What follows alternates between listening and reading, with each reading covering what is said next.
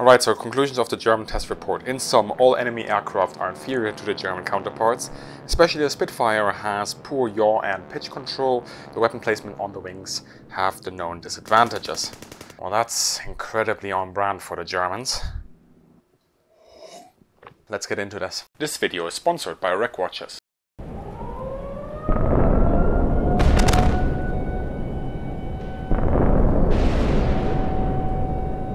So how do we rate or compare aircraft?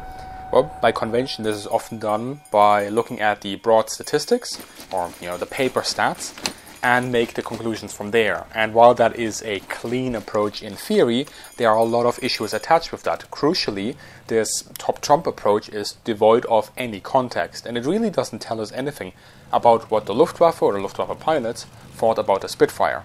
So instead of doing that, I will put the lens squarely on the Germans for now. First, I will show you data, or rather conclusions, from a German technical evaluation of a Spitfire that I found in the German military archives. And then I want to talk about the Luftwaffe pilots, their perceptions, what it tells us, and why this is sometimes very different from what we are hearing. Joining me for this part are also two accomplished historians that have interviewed Luftwaffe air crews in the past, James Holland and Dr. Jens Wehner, to give you an even larger pool of insights to draw upon. Of course, I can visit archives and publish this sort of research because of you, and especially here a big thank you to the patrons and channel members who support the channel. So let's start with the technical evaluation that I found in the files from the German Military Archive. The first one is an evaluation of a Spitfire Mark 1 and 2. As we get into it, quick disclaimer right here, and let's go, starting with the comparison. For performance, the German test states that the Bf 109E is superior in speed and climb, and a shallow climb with speeds of 280 to 300 km per hour is noted as optimal against the Spitfire. The 109 is considered superior in roll at higher speeds, while quick changes in the pitch axis caused the Spitfire to be unstable in the yaw axis. The test then recommends the following. A warning must be issued to engage in a turn fight with the enemy fighters as they have significantly tighter turning radii and times. An attack on the enemy and disengagement can therefore only be done due to superior performance. During a sudden dive, the carburetor of the enemy fighter will briefly stop due to the negative G acceleration. This measure is highly recommended. This of course refers to the fact that the Germans used direct fuel injection at this point in time, whereas British engines still, still relied on gravity-fed carburetors. If you're interested in that topic and why Britain didn't yet use fuel injection, I highly recommend this video right here. And that leads to the conclusion I read out at the start of the video. Moving on now to the second report. The second report is based on a suspected recon Spitfire that crash landed and burned up in the south of Germany. This 100 page report has highly detailed technical analysis, but little in terms of direct comparison or statements by pilots. But after going through 100 pages, what I have found is this. From the enemy fighters that have appeared in operational use, the Spitfire demonstrates the best performance due to its speed, firepower, and flight characteristics. For our aircraft, it is an enemy that is to be reckoned with. Pilots who flew the Wingdish fighter negatively rated the low longitudinal stability but emphasized its maneuverability. Takeoff and landing do not present any issue, no dangerous stalling characteristics were recorded. Now this is data we can use, but for the reasons given in the disclaimer and some additional ones, they are certainly not the end all be all. So now let's really home in on what the pilots, the Luftwaffe pilots, had to say.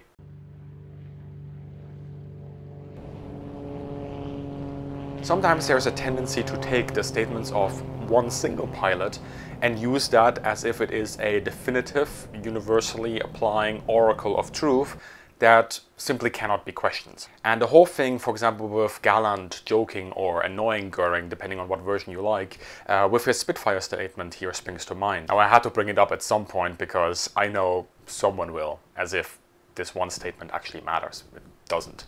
Basically, a statement of a single pilot is generally worthless as a measurement because it is based on the perception of that single pilot. If it was a bad pilot, then he may rate the enemy machine more highly. If it was a very skilled pilot, or an ace, he may dismiss the enemy plane and not account for the fact that the average pilot won't be as successful or proficient in dogfighting. So what we really should be looking at for is asking as many pilots as possible to determine an overall average. Here is data from a German Jagdgeschwader, erste Gruppe Jagdgeschwader 53. At the start of the war, some of the kill claims pilots had to hand in required them to rate the enemy aircraft in terms of speed, maneuverability, and firepower. From six cases, the Spitfire was rated as the following. It was rated equal in speed five times, and it was rated good or better four times compared to the 109 in terms of maneuverability. So far so good, there appears to be an overall agreement. And we can start also seeing why it's important to look at the accounts of multiple pilots rather than just one.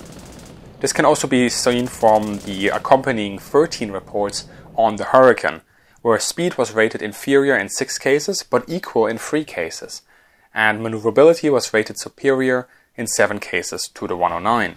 So you can see that even though all of these results appear to go with the broad average of what we would consider the matchup of 109 versus Spitfire and also Hurricane would be, depending on who you ask, you will get some variance in each case. Put it bluntly, if you're asking a pilot to give his evaluation of an enemy aircraft, it does matter whether the pilot you're asking is, well, a bad pilot, an average pilot, a good pilot, or even an ace.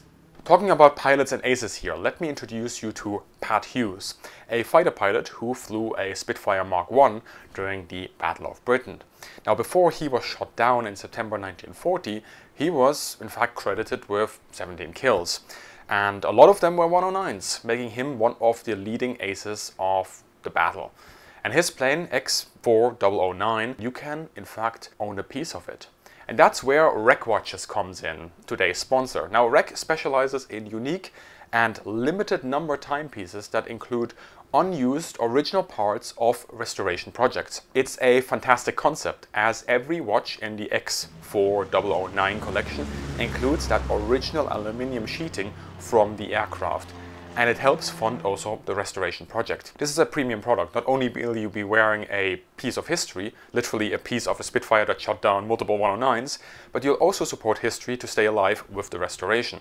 And the X4009 collection is currently in pre-order with an amazing 15% discount and only a limited number of them remain. The watches are available in three editions, Amphra Grey, Midnight Blue and Semtra Black it comes with free worldwide shipping, a 36 month warranty, and if for some unfathomable reason you want to return the watch, they do offer 30 day returns. Secure yourself that 15% pre order discount and a unique watch with the links in the description below.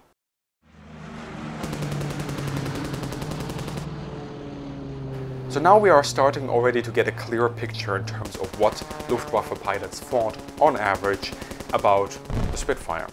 But to talk more about the impressions of German pilots, I have invited Dr. Jens Wehner, who is also amongst those who first published some of this data in his new book. If you look at the perception of the German pilots on, on the Spitfire in the Battle of Britain, there was a very diverse perception of the Spitfire.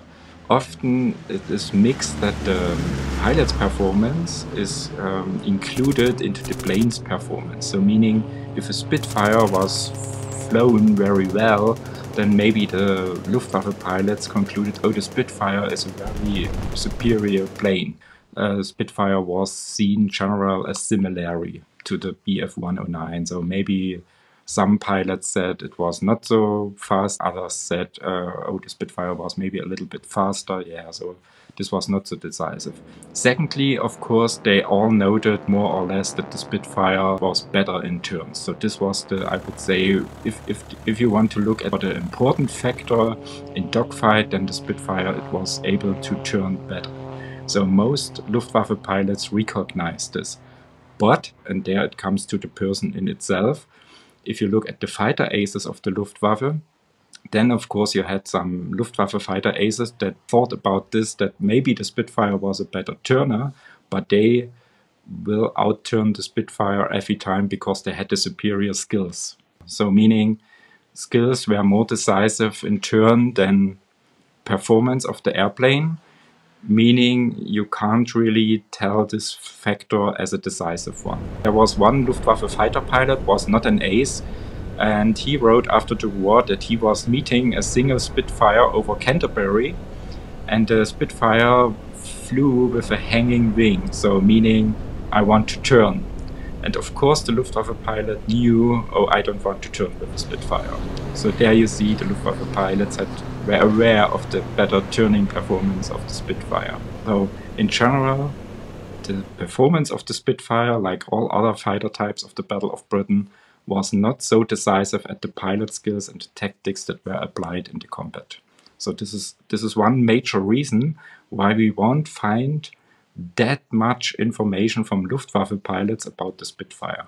And another thing I want to add, another anecdote is that Julius Meimberg, he flew with his comrades for England and uh, a single Spitfire was closing to Hans Hahn, which was a leading fighter ace at this point already and later in the war also until he was shot down. And um, Spitfire was closing and they didn't warn Hahn until the Spitfire was very near to the to the 109 of Hahn, just to make a joke out of it. And then suddenly they said, oh, there is a Spitfire, and Hahn really broke away very straight and uh, the Spitfire had no chance in following.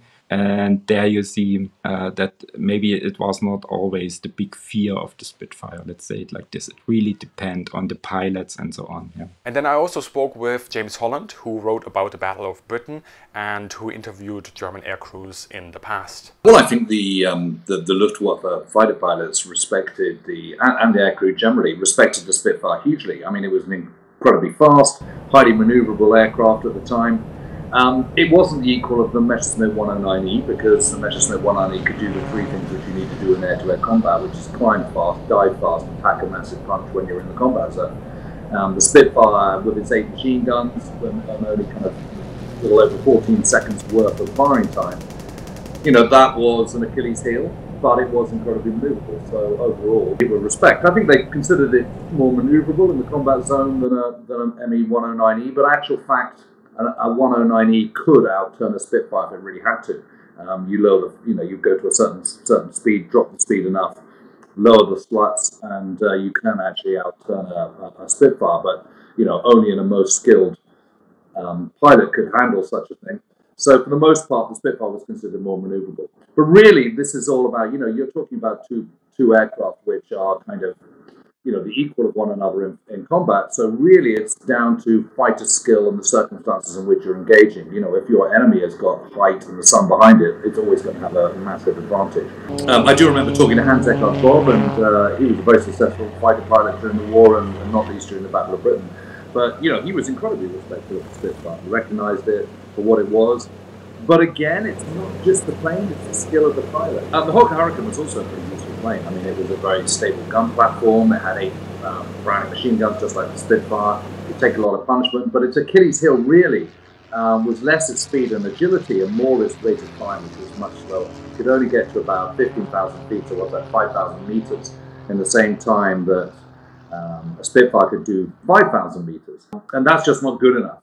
Uh, and that's why it's really ordered to concentrate on the bombers, uh, which are operating at lower heights, while the Spitfires get there to engage the fighters at a higher rate. And is it true that the British pilots were more welcoming of the Spitfire and they really always wanted to transition to the Spitfire if they themselves were Hurricane pilots? Yeah, I think so. I mean, you know, the, those people who flew the Hurricane tended to defend it a little bit, but most people wanted to fly Spitfires because it's faster, it's more maneuverable, um, and it can climb faster. And nowadays, sort of the, the Spitfires, of course, let's say the darling of uh, the memory of the Battle of Britain and the war in itself.